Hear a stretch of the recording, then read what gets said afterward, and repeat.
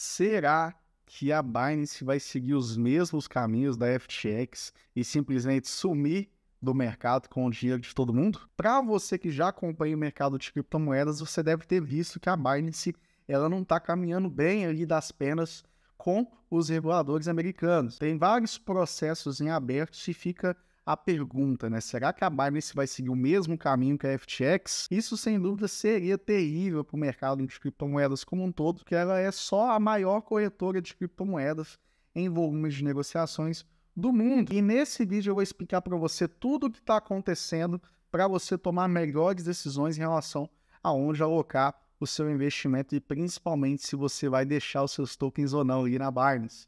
Então, já deixa o seu like nesse vídeo, se inscreve aqui no canal e comenta qualquer dúvida que você tiver. Para a gente começar esse vídeo aqui, eu vou compartilhar minha tela com vocês.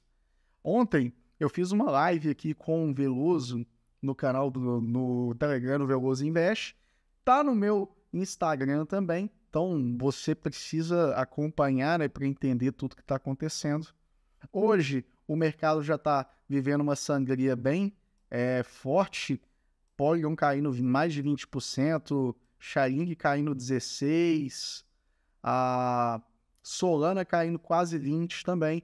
Por quê? A gente avisou ontem a importância de se ter caixa para aproveitar as oportunidades.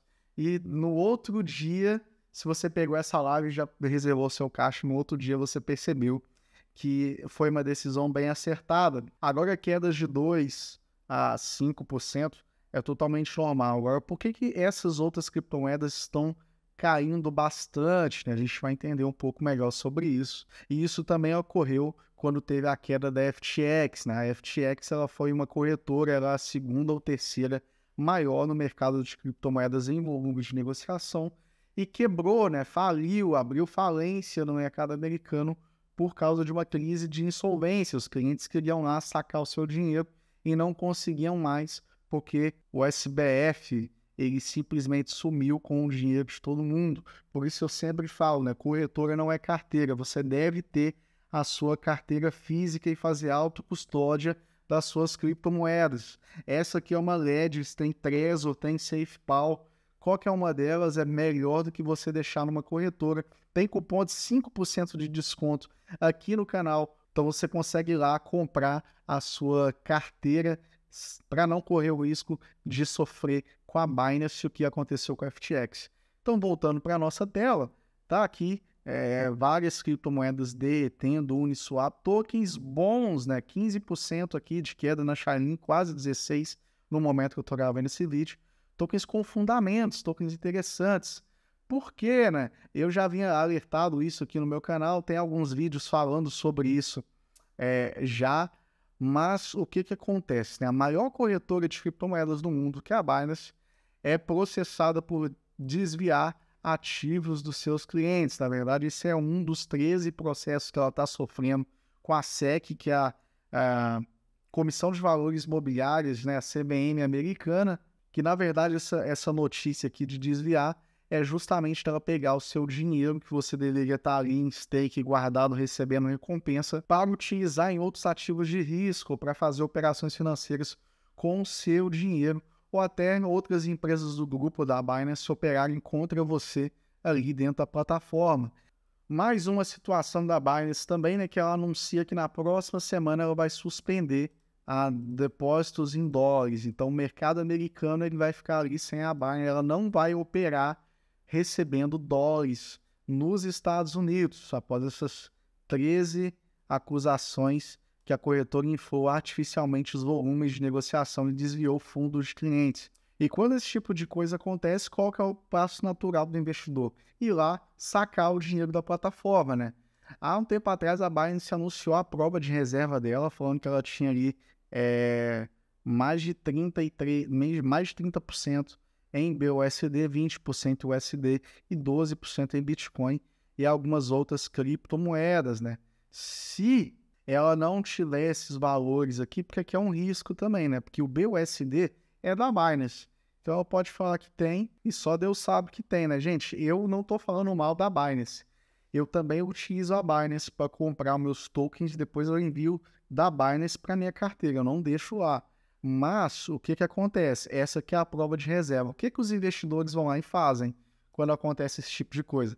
Debandam com medo de, é, de quebradeira, né? A Coinbase também está nesse bolo aí de briga regulatória no mercado americano e os investidores estão sacando ali mais de 3 bilhões de dólares, quase 15 bilhões de reais, só nas últimas 24 horas após o anúncio, né? Após essa briga com a SEC que foi falada nessas notícias que eu passei para vocês.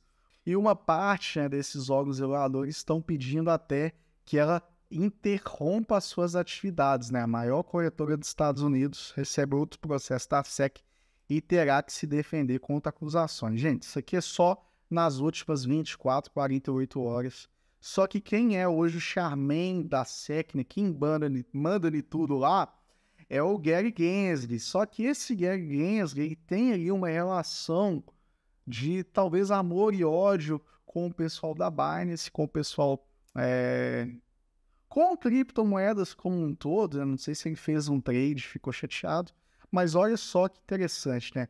Gary Gensler da SEC se ofereceu para atuar como consultor da Binance em 2019. Parece que não rolou e agora, né, a, esse chefe da Comissão de Valores Imobiliários Americanos está fazendo, na minha visão, exclusivamente minha visão, uma caixa, a, caça às bruxas ao setor de criptomoedas como um todo, né? Não estou defendendo, na verdade, eu sou até a favor da regulamentação. Essa não é uma opinião muito popular para os investidores de criptomoedas, mas eu acho que faz sentido para o investidor institucional entrar o Bitcoin ser amplamente utilizado, a gente tem que ter regulamentação pró-inovação, né? pró-criptomoedas, que é o que eu acho interessante, e não uma regulação punitiva, que eu acho que a linha que o Gary Gensler está é, é seguindo.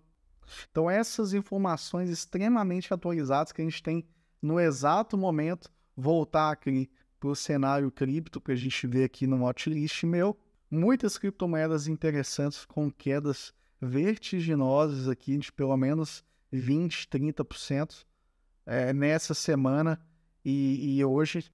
E desse episódio a gente tem duas lições para aprender. Primeiro que corretora não é carteira, você tem que ter sua autocustódia com Ledger Trezor, SafePal, tem várias é, interessantes. Compre ali na Cash Forte, tem um cupom de 5% de desconto aqui no meu canal e sempre ter caixa para aproveitar oportunidades.